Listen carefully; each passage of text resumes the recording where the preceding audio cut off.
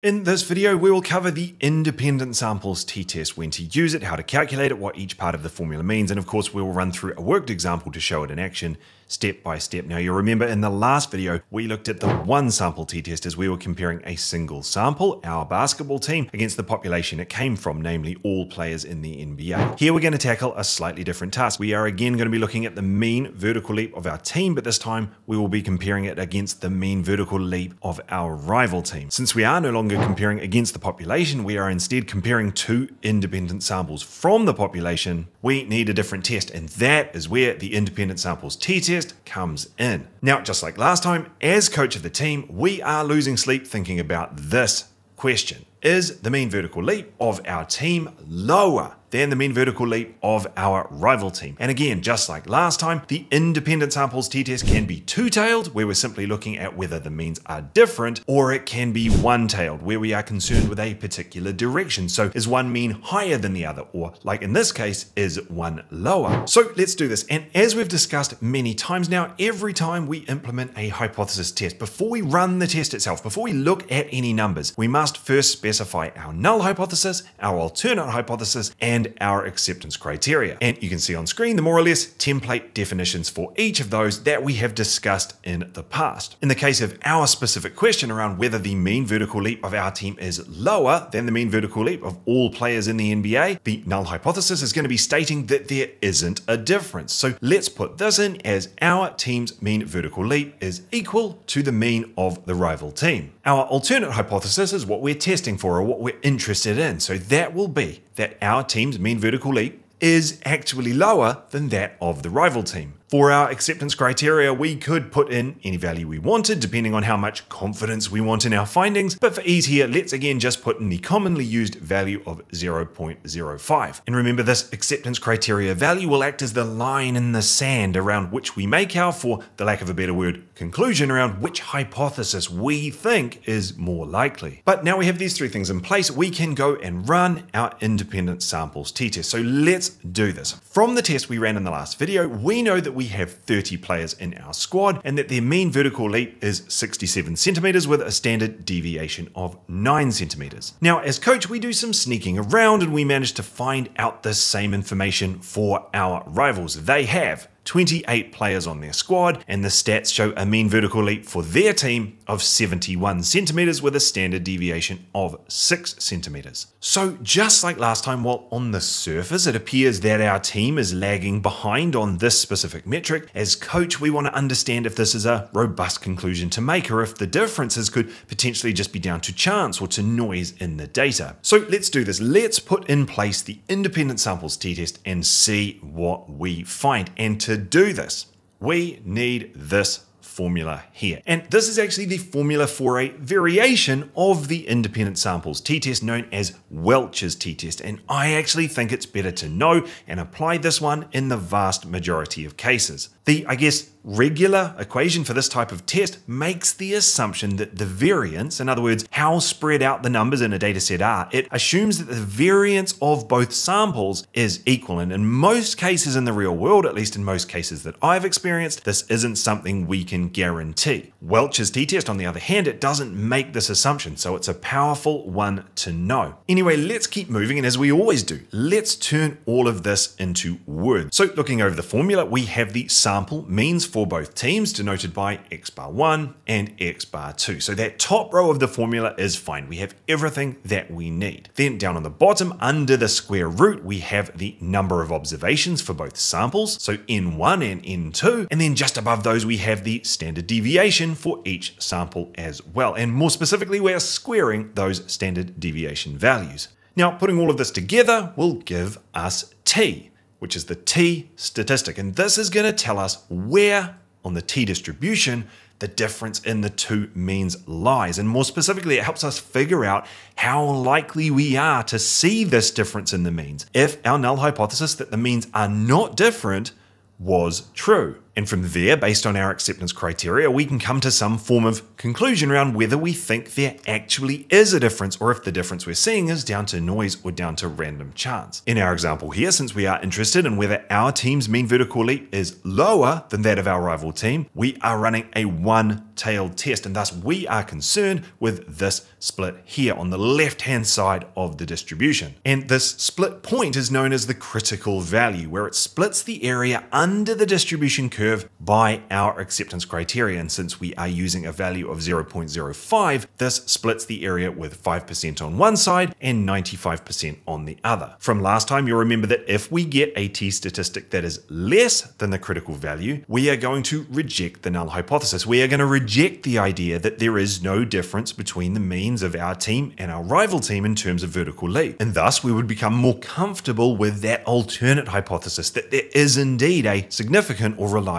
difference. And the reason that we would do this is that we're saying if the null hypothesis was true, in other words, if there was truly no difference between our team's average vertical leap and the rival team's average vertical leap, we would expect to see a t statistic as extreme as the one we've got less than 5% of the time. And because of this, we'd start to say, well, if it's that unlikely to happen, or at least if it's less likely than our acceptance criteria, then maybe it's not actually the case. Now, conversely, if we ran our test using the formula and we obtained a t statistic that was above the critical value, we would fail to reject the null hypothesis. A t statistic such as this would suggest to us that the null hypothesis that there is no difference between the means is actually quite plausible or quite likely to be true. In this case, we are essentially saying if the null hypothesis was true, we would expect to see a t statistic such as this, or in other words, one that falls within this range of values at least 95% of the time. And because of that fact, we might say it seems quite likely that the null hypothesis is actually true. And because of that, we would see no reason to reject that notion, or more formally, we would fail to reject that null hypothesis and essentially conclude that any differences between the two means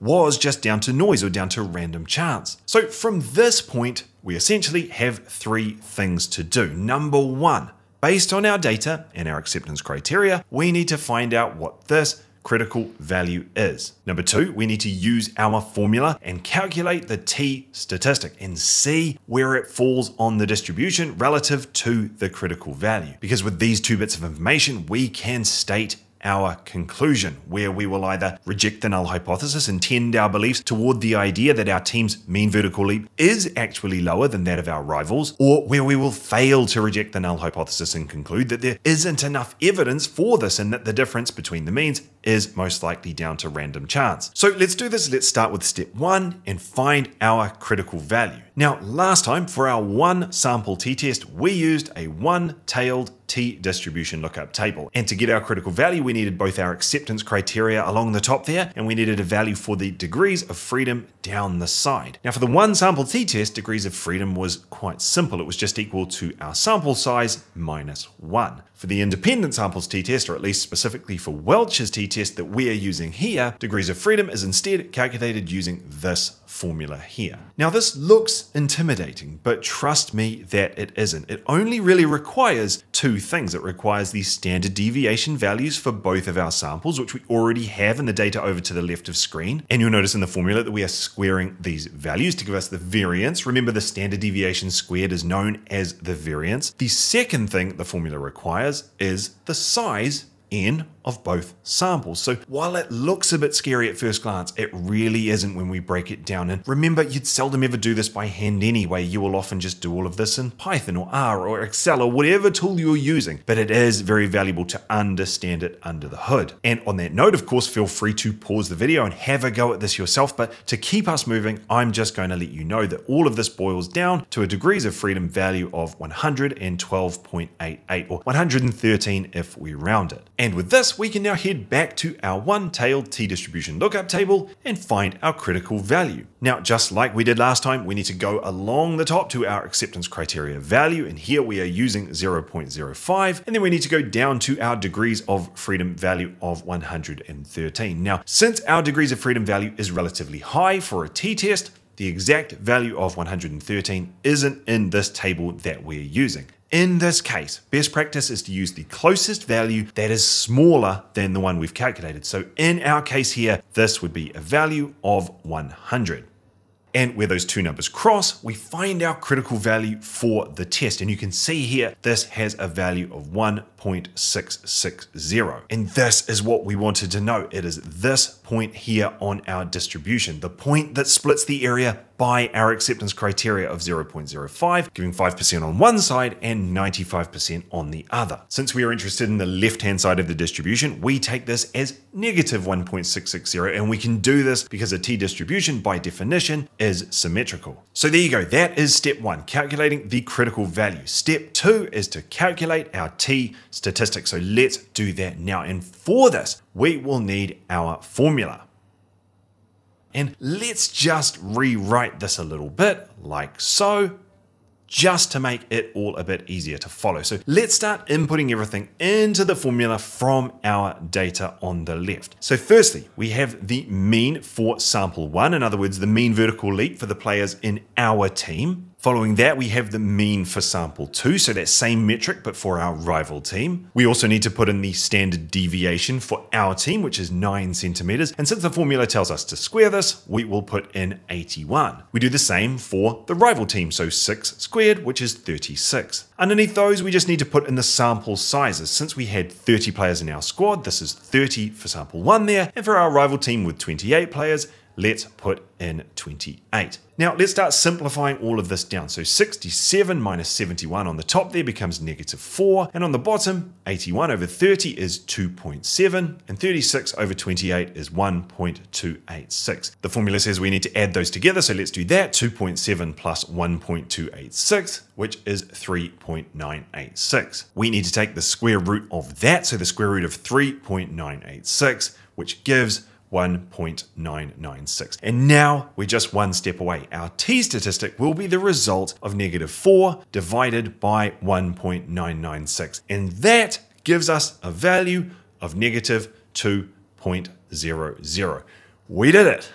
Well done, well done, well done. And if we head back to our distribution, we see that this t statistic value of negative 2.00 would fall here at a point outside our critical value and lands us in this 5% area. And to put this into words, and we mentioned this earlier, but it's good to go over it again now we have our result. What falling into this area means is essentially that if the null hypothesis was true, in other words, if there was truly no difference between our team's mean vertical leap and our rival team's mean vertical leap, we would expect to see a t statistic as extreme as this less than 5% of the time. And because of this, because that is quite a rare event, we see this as some sort of evidence to suggest that the null hypothesis is unlikely to be true. And so formally, based on all of this, we will reject the null hypothesis. And we would say something along the lines of with an acceptance criteria or significance level of 0.05, we reject the null hypothesis in favor of the alternate hypothesis, which essentially translates to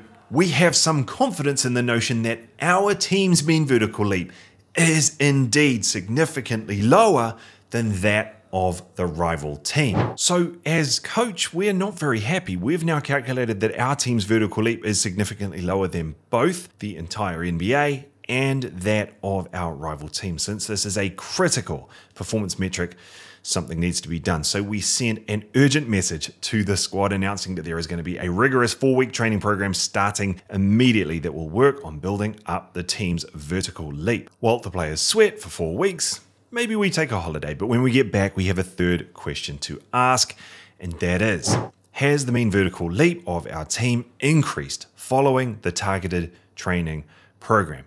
For this, we will be using another type of hypothesis test known as the paired t-test, and that is exactly what we'll look at in the next video. I will see you there.